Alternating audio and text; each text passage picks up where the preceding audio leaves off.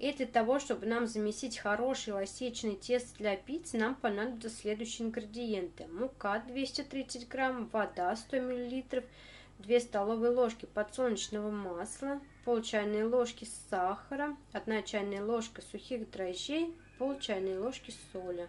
Для начала смешаем все сухие ингредиенты. Муку я заранее уже просеяла. Добавляю сюда сахар, сухие дрожжи соль. И все хорошенько перемешиваю. Муку вливаю теплую воду. И дальше продолжаю перемешивать. Сюда же добавляю подсолнечное масло.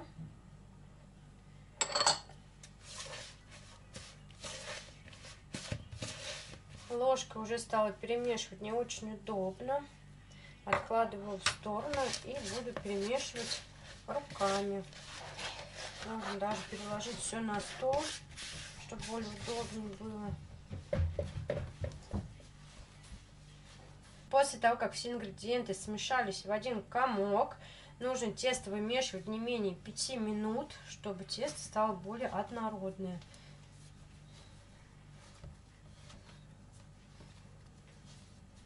Тесто я уже вымесила. Теперь перекладываю его на стол, накрываю сверху миской и оставляю минут на 10, чтобы тесто отдохнуло. После 10-минутного отдыха тесто стало такое мягкое, эластичное. Теперь будем вымешивать его еще минут 5-10. Ну, я думаю, минут 5 будет достаточно. После того, как тесто хорошо вымесили, миску нужно смазать небольшим количеством подсолнечного масла, чтобы тесто не прилипало к миске. И вот так верхушку теста тоже нужно смазать. Сверху накрываю полотенцем и отправляю отдыхать в теплое место тесто на 1 час. Пока тесто у нас подходит, давайте подготовим с вами начинку. Для начала порежу карбонат, у меня такой небольшой кусочек. Буду нарезать средней толщины.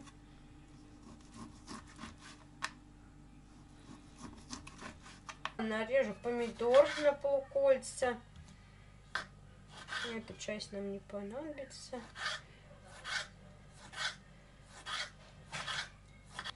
Также нарежу соленый огурец. Репчатый лук буду нарезать тоненько на полукольца. Нарежем с вами болгарский перчик. И сыр натру на крупной терке. Так, ну все, тесто у меня уже постояло отлично подошло. Видите, насколько оно увеличилось в объеме. Теперь перекладываем его.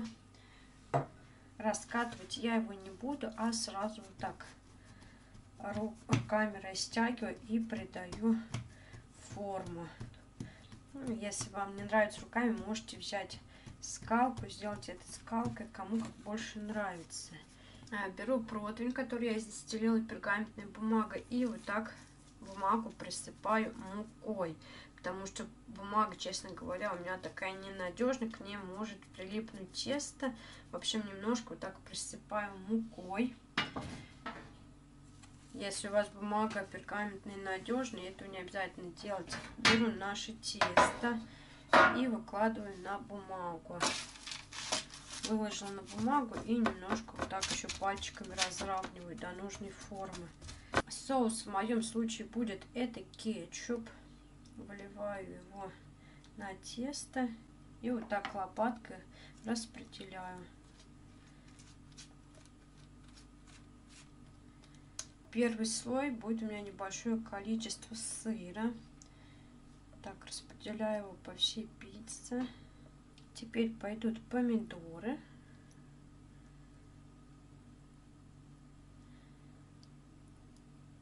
Сюда же ложу соленые огурцы. Вот так вот. Сверху буду посыпать репчатым луком. Я прям так его сжимаю в руках и крошу сверху, чтобы он пустил свой сок.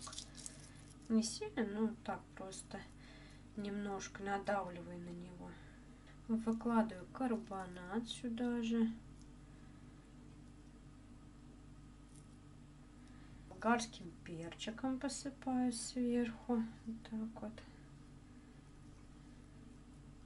И в самом конце начинаю вот так все это дело засыпать сыром.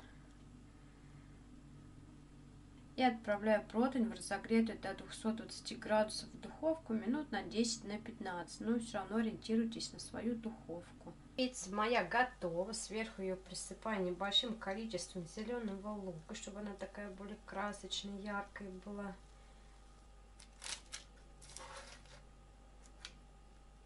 Пицца получается очень ароматные, вкусные. Но если вам понравился данный рецепт, не забудьте поставить лайк этому видео, подписывайтесь на мой канал. Впереди будет много интересных рецептов. Всем приятного аппетита!